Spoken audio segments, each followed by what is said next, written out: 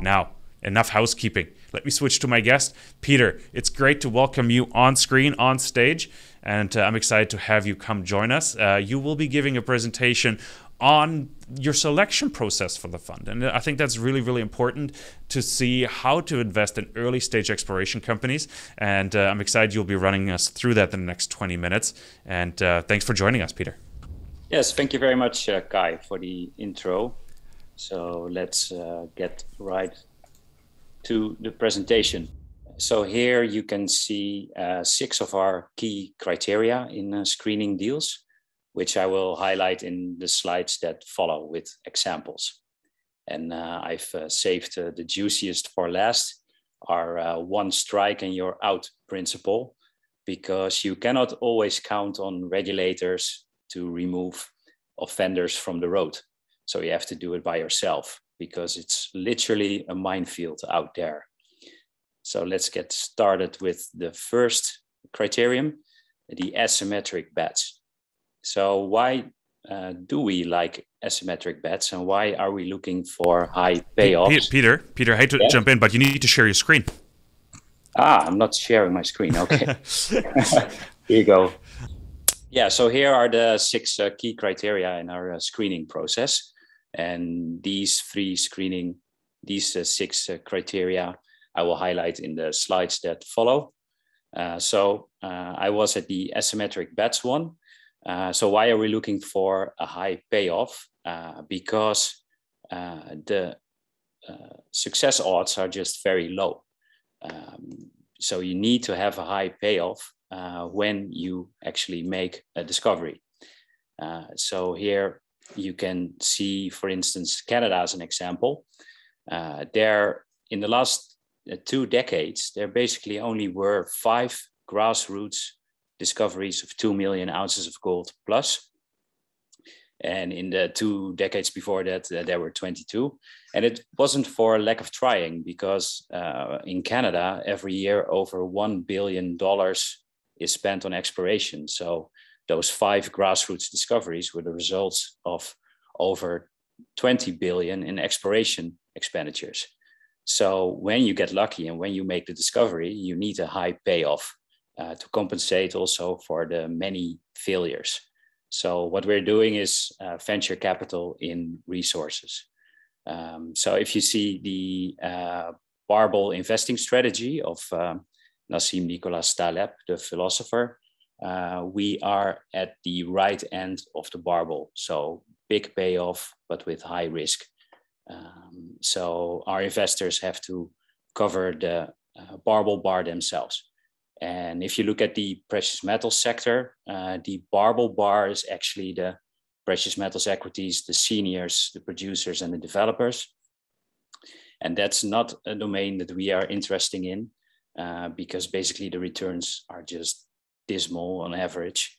Because from 1963 to 2015, for instance, the real return of precious metals equities has been 0.1% negative according to a study by William Bernstein. Um, so uh, how, how can we get these asymmetric payoffs? Because we're basically investing in, in companies worth millions that can find for billions of metal worth in the ground. Um, and you can create additional leverage on the upside without additional risk by obtaining warrants uh, in these juniors via private placements. So uh, we try to increase our success odds in making a discovery by a rigorous research and screening, which I will highlight also in the slides that follow. So in uh, plethora precious metals, we uh, often look at the whole domain of juniors that are listed. So in Canada on the TSXV and on the CSE, there are over 1,200 juniors. It's, it's amazing that there, that there are so many. Uh, and when we screened them uh, the last time, only 60 of those 1,200 companies actually warranted follow-up research in our view. Uh, and from those 60, we've done seven new private placements, only 0.6% of the universe. Uh, we've done we've done more private placements, but those were in companies that we were already intimately familiar with or that we were already invested in. So one of our other uh, criterion is go big or go home. So we are looking for new ideas, big ideas. And it's not just us, because we see a tendency of majors and mid tiers uh, to invest in companies that have districts, so that have big land packages uh, of a favorable host uh, for mineralization. Uh, so here we see a couple of examples of deals that actually also involved a big land package. So Sumitomo investing in Kenorland, uh, IAMGOLD in Vanstar, Evolution Mining in Battle North. And in all of these cases, it, it involved uh, tens of thousands of hectares of land. Uh, so we are normally not looking for recycled projects. We're looking for new ideas um, and uh, a limited amount of historical work. Uh, if that's done, uh, we see that as a new ID um, because we, we regularly uh, hear the talk that the old timers missed it, the previous operators missed that, but uh, old timers were not always idiots. Um, what they maybe lacked in technology, uh, they made up for effort because you, you, you basically don't walk away quickly from a hand dug shaft after all of that work. And also, very simply, small projects give as many headaches as a big one. So we like to think big. Uh, it's very simple. If you if you start small, uh, the project rarely becomes bigger. And if you start big, you have a margin for it to become smaller. So uh, focus on the rock stars and the rocks. It's our view that the geologists make the discovery uh, and not bankers. So uh, how, how are the geologists actually incentivized? Are they working for just a salary? Then it might be in their interest to keep working on existing projects and agree to whatever management is saying. Or they basically move to a different company in the blink of an eye. So uh, as charlie munger says if you show me the incentive i show you the outcome. See how they are incentivized. And do they play a prominent role? Are they listened to? Are they uh, giving are they given an important role so that the discovery can be made? And also, it's our view that you have to conduct field work as soon as possible and focus on collecting multi-layered hard data. So uh, get into the field and acquire the data. And uh, for that, you need geologists, you need to do a lot of geochemical and geophysical surveys, have the boots on the ground by your own geologist at an early stage. So not just desktop work. And it's not always easy. You can see here from the pictures field pictures from our geologists. So uh, very important that uh, you acquire that data and you get into the field as quickly as possible. Also, uh, look to falsify and not verify. Uh, so see where the fatal flaw is of a project. And for that, you, you can also hire, consult world-renowned field-specific experts uh, for instance, uh, Dick Sillitoe and Michael Skeet on gold, Tony Donahue for nickel. Uh, they give you an honest, independent opinion on your project. And if you hire them at an early stage, uh, you uh, can prevent the big spend on projects uh, that are actually not that interesting. But it's it's not always rocket science. we see that the the longer the press release, the shittier the results uh, normally. Uh, even directors of companies uh, say in their releases that some of these press releases are actually barely readable. for instance, we saw a press release recently by a company uh, where the annotations of a director uh, actually made it into the press release. So uh, here you can see that the director actually mentioned in the draft press release that it was barely readable. Uh, but if it was buried enough, far enough in the release that uh, that it was fine. So, and the results, of course, were shit.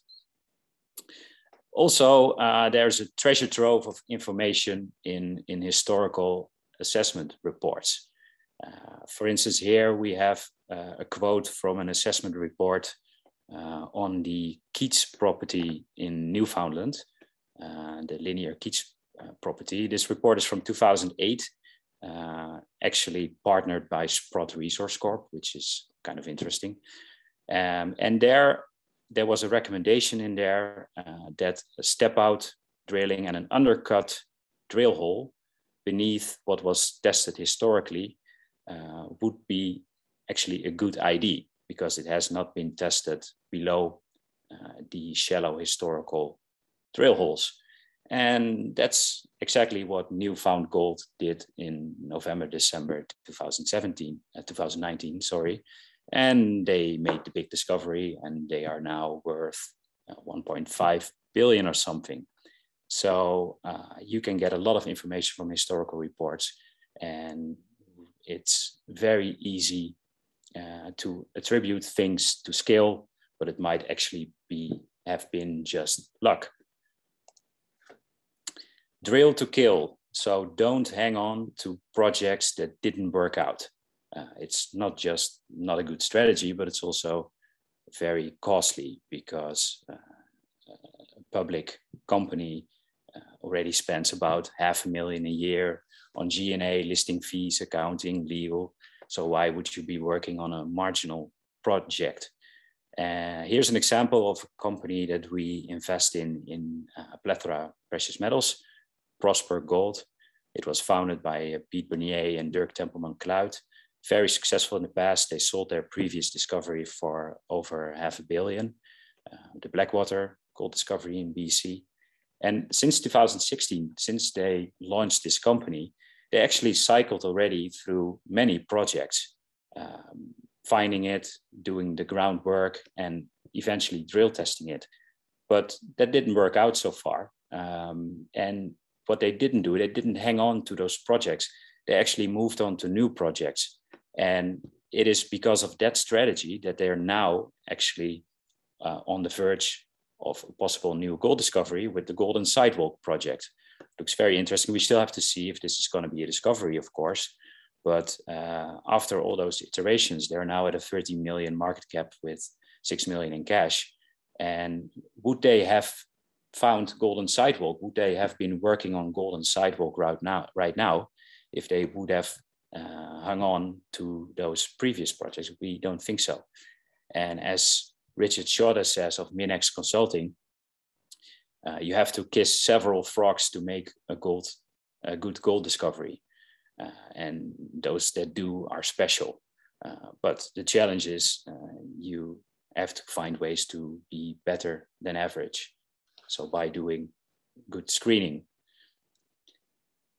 So strong and stable jurisdictions. Uh, here you see a, a, pie chart of plethora private equity, uh, where we are active um, the one on plethora precious metals is not much different from this one. So the majority is North America, and then there's a big contingent Scandinavia uh, for the base metal, uh, electric electricity metal uh, properties. And why are we active there? Uh, because we think it's very important that you are in an area uh, that respect ownership rights, have a clear mining law, mining exploration laws, familiarity with mining, cost of doing business, and that you can work there in a sustainable and responsible manner. Uh, why? Because we don't want to stack risk upon risk. Uh, exploration is already a very risky business. So why would you add jurisdictional risk to exploration risk? Uh, we're not doing that. For, for example, I was on a, on a field trip once in uh, Lombok, Indonesia, uh, very friendly people there. Uh, but uh, when I was on site, they told me that a week before, all the locals that were working in the area actually set all the drill rigs on fire. So the illegal miners there just didn't want to have the Canadian company operate there. so um, not an area we are looking to invest in. So management and skin in the game. So we come back to the incentive slide that I showed before. So show me the incentive and I'll show you the outcome. So if management doesn't own shares or hardly has any shares, there's a big change of control clause. So uh, when there's uh, when the company changes hand, the management will receive a couple of years of salary, uh, the high salary element. So all these elements make us uh, to not invest in the company. If we look at the average in plethora precious metals right now, uh, the average of the CEOs in the companies we invest in is a 3.3% equity interest and a very modest salary of 136,000 Canadian dollars. So that's an equity salary, salary ratio of over six. So that means that we are aligned with management. They are in the game to create shareholder value because they will get well rewarded in their equity valuation when something positive happens for the shareholder. So we are doing a lot of background checks. So there's a wealth of public information, news search, uh, SEDI, SEDAR, all these publications. And I'm also one of those persons uh, that never throws away an email. So I've kept all the emails from 2007 since I started in this sector, news outlets, broker reports, uh, other emails. So we all, we always check the history of projects and people, very important. And by that you can already um, cross the cross out the majority of the companies out there. So always look at uh, what they say versus what they do. So here's a recent example of a company called Crest Resources. So on their company website, they say that their singular focus is on increasing shareholder value. But what do they actually do? So they announced a distribution of bonus shares uh, and though that distribution to management, so not to shareholders, but to management, was worth 9.8 million Canadian at the time of the announcement. And the market cap of the whole company was only 19 million. Uh, so on the right side, you can see what that did to the share price. Um, but this was management friendly and not shareholder friendly. So here's another one. This is uh, a quote from an email we received in February 2016. Um, the CEO emailed us with the message that it was about the share activity, the activity in the share price. We do not believe any of our long holders or the small group that participated in the last financing are sellers down at these levels. However, we will buy ourselves out of the hole as we have always done and in the days surrounding this email, actually, the directors and management uh, were actually selling shares in the market. And these people are still on the road because in, in, in Canada, promoters have an unlimited amount of lives. There is a sucker born every minute. Uh, this is another one. This is a company uh, that used to be called New Nadina Exploration. So this is from a press release on October 25th of 2017. Silver Queen drilling confirms high-grade sulfide target. We have drilled 132 meter of high-grade core. This they had to retract from the British Columbia Securities Commission a few days later, so they removed these quotes. But that didn't stop them from keeping on promoting the visuals. So here's an article in the Northern Miner uh, just a few weeks later. I knew it was a high risk hole, but I had to get it out of my system. It was a now or never sort of moment. And then in, in a press release the same day, mission accomplished. We have found the treasure box. And then eventually, uh, in January of 2018, on Friday, after markets close, of course, we learned that there basically was only an interval of eight grams per ton silver and some other metals. So there's there's more metals in my backyard. So this uh, you can see here what it did to the share price. And this company is also still around. It's now called Equity Metals or something.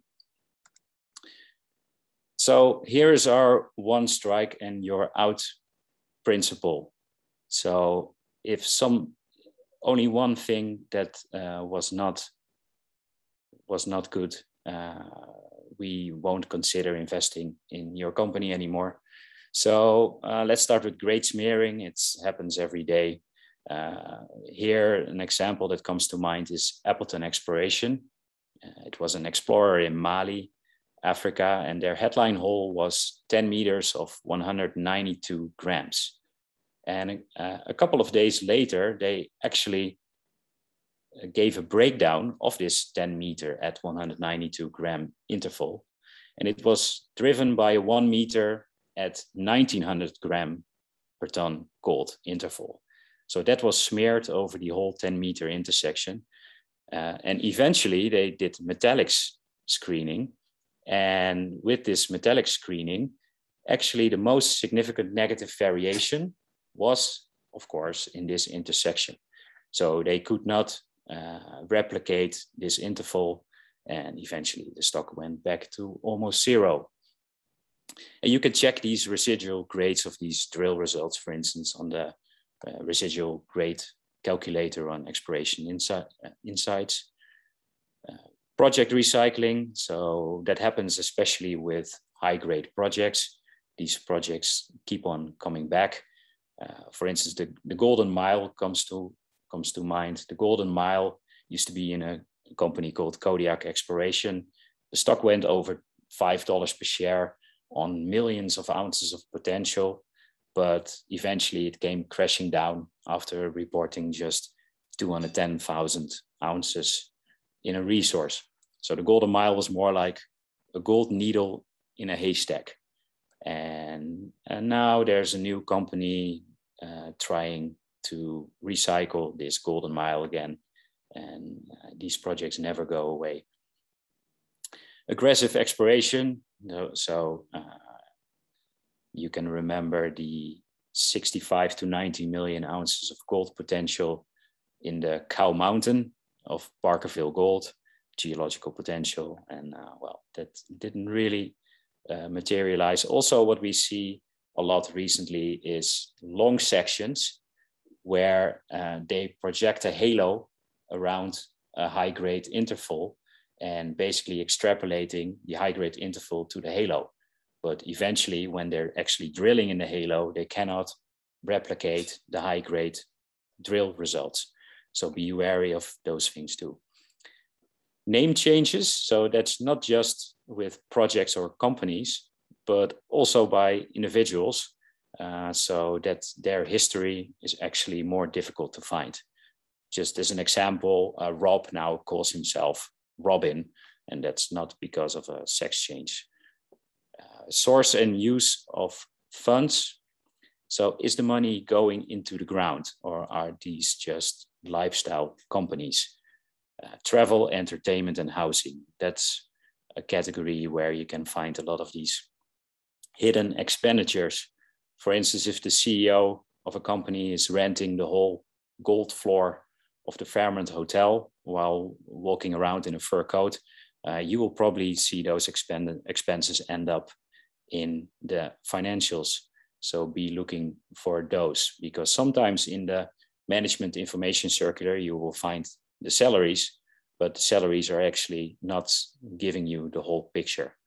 Um, also, have a good look at how these companies got started. So, how did they obtain the projects? What did they have to pay for that? How, what is the history? Because sometimes these number companies of, or projects are being vended in the public vehicle for a zillion amount of shares with a very low cost price. We see this especially on the Canadian uh, Securities Exchange, the CSE. So uh, be looking out for that as well. And let's see what else we have here. Um, yeah, we have the cost lifestyle companies. And well, yeah, I can go on and on about this, but uh, I think my time is almost up. So I will hand it over to Kai and Christian for questions. Fantastic. Peter, I love the presentation. I absolutely did. Absolutely fantastic. I like that you don't mince words. You're very direct. Uh, it's really, really appreciated because this sector needs it. Um, the sugar coating doesn't help anybody. So, um, really appreciate you pointing out a couple negatives, actually, what to look out for. Uh, we got a question in the chat, and we talked about the negatives. Let's talk maybe about a couple companies that you are invested in, and maybe tell us why you're invested in them. And we have about uh, two, two, three minutes to talk about them. Okay, you mean on the precious metals uh, front?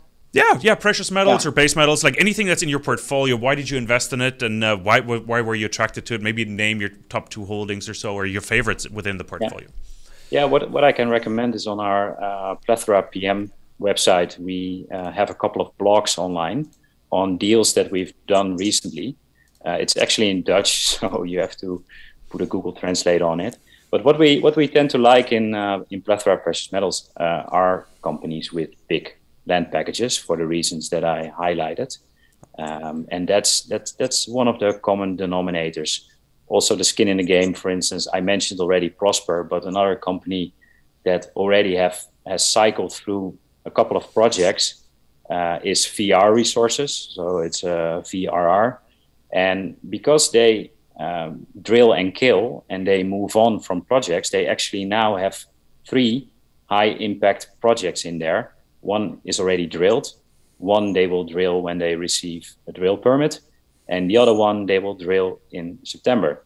So it's quite rare to have that in a company with only 30, 40 million market cap, where also the CEO has a very good reputation and has a lot of skin in the game with a big share position. So that that's that's what we like to see. And in the private equity um, stable of companies, uh, we are actually working towards an IPO of our Newfoundland uh, based company, and that's called Burin Gold. And that's active on the Burin Peninsula Belt, a huge, huge land package, like 160 square kilometers uh, of uh, a high sulfidation epithermal belt. Uh, that's the that's the host there, and we already have a discovery. So, and the the cool thing about the discovery is because we drilled seven holes last year. The cool thing is that the discovery hole is actually above the, the 50 gram times meter intersection. And we know from the, the study done by Kenorland Minerals, the discovery study, that most 2 million ounce plus discoveries actually have a plus 50 gram meter intersection as the genesis uh, within the initial program. So yeah, we're quite excited about that. So we think uh, this will be IPO'd in the fall of this year. Fantastic. And, P- and, Peter, we're out, we're out of time. Where can we find more information about Plethora Private Equity? I think it's plethora-pe.com. Is that correct? Is, that was the yeah. domain, correct? Yeah, that's true. And uh, uh, the PM fund is plethorapm.com. Fantastic. Peter, really, really loved the presentation. I'm repeating myself, but that was fantastic. Thank you so much for coming on. Thanks for running us through your screening process. And uh, we'll make this presentation obviously available in our YouTube channel in a few days. So make sure to check back and rewatch it. There's some good information in it if you've missed it. Peter, thank you so much for joining us. I hope to see you in the fall. I hope everything can go on as planned, and I'll see you in Germany at uh, the Deutsche Goldmesse. Looking forward to it. Thanks, Fantastic. Guy. Peter, thank you so much.